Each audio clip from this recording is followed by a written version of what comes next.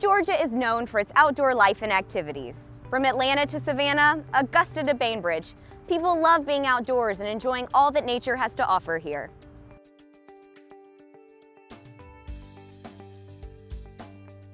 And many of those outdoor activities include our natural bodies of water, including our rivers, streams, waterfalls, and lakes. In fact, we have some of the most exciting and breathtaking whitewater rivers that rafters and kayakers can enjoy on the eastern seaboard. But did you know that there are things that we do every day that can threaten the quality of our water? The things that we do, without even knowing that they can cause harm, could make it dangerous for us to swim or fish in our favorite lakes and streams. Brad McManus manages the Georgia Department of Transportation's Stormwater Program. He has been working to inform the public on things that they can do to help protect our natural waters and keep them free from pollution and harmful materials. When it rains, most water either soaks in the ground or runs off and into streams and rivers and lakes, and eventually into the ocean, where it is evaporated and comes down as rain again. The water that flows into streams may carry with it materials that it comes in contact with. The material can be soil particles, making the water look muddy, and pollutants. Surfaces like pavement do not allow water to soak in to the ground, and they provide a fast way for water to enter streams. We call these surfaces impervious. This increases the amount of water entering streams when it rains, and also does not filter out the pollutants like natural vegetation would.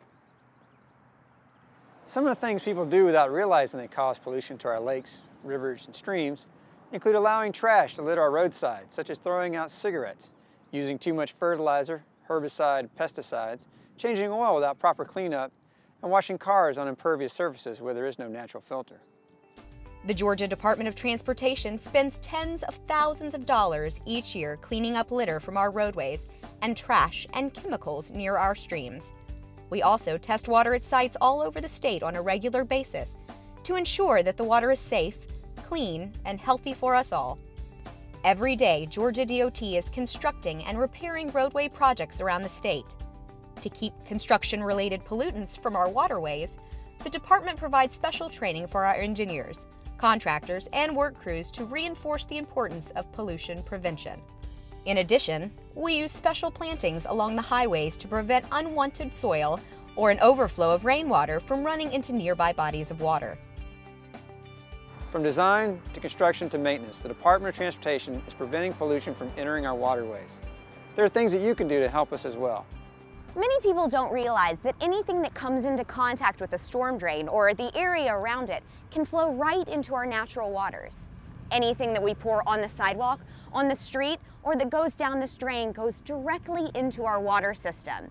But who really knows where the water goes when it goes down this drain? Let's ask some people and see what they say. So where do you think the water goes when it goes down this drain? Uh, it just gets soaked back into the ground, right? Or does it go anywhere? I presume it goes back into our rivers that are around here. Back into our rivers? I would say back into the rivers or the reservoirs. Back into rivers. Are they right? Maybe somewhere where they can take the dirt out and filter it? I would think it would um, travel into creeks and rivers eventually.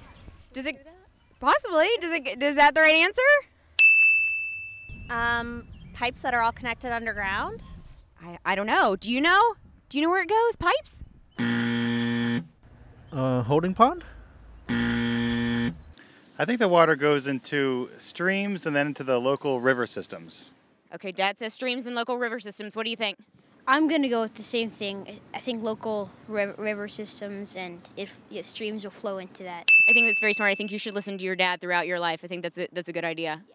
Okay, so if I throw trash out of my car and it goes into the storm drain and down into our rivers, does that mean my trash is going into our rivers? I, I guess it does. That's not very good, is it? It's not good at all. No. No, we don't think that's good. Now, let's take a peek in one of these and see what's really down in there.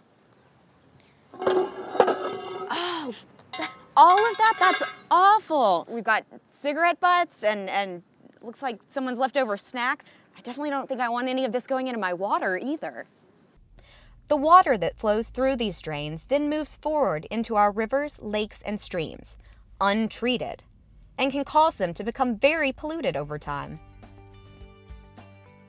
We know you are as concerned about preventing water pollution as we are. So Georgia DOT also provides information to the public to help individuals, cities, counties, and organizations do their part to help keep our water clean. We've installed pet waste stations at rest areas around the state to make it easy for travelers to dispose of pet waste the right way. We make it easy for companies and organizations to join our Sponsor a Highway and adopt a highway programs to prevent litter.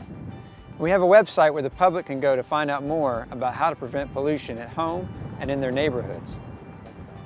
So what can you do to help? Remember that anything that stays on the ground can find its way into our water, so always clean up after your pets.